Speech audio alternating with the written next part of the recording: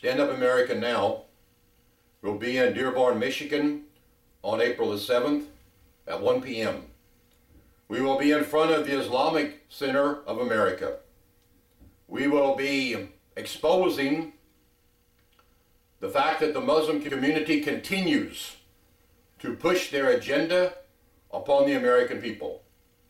We will be exposing the fact that over the last 10 years, the high school in Dearborn has been serving, favoring the Muslim community. They have been serving five separate meals for so-called Muslim designed meals that, uh, that favor the Muslim community. That then again show that as the Muslim community grows, they try to push their religion, their rituals upon us. The football team during Ramadan does not practice after school at a normal, reasonable time. They start practice at 12 midnight and go till 4 o'clock in the morning, thus endangering all of the players. In Michigan, in the universities, and around America, they have started putting in foot washing units for Muslims. Uh, these units cost the taxpayers around $100,000 a year. The lunches in Dearborn.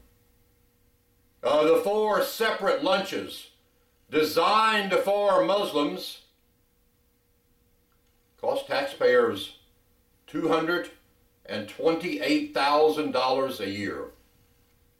Again, the Muslim community, and no matter where they go, whether it be in the United States of America, whether it be in Europe, whether it be what they did in the Middle East, they expect to get special treatment. These things and many others we are going to expose about how Sharia is not only creeping in Dearborn, but is creeping into the United States.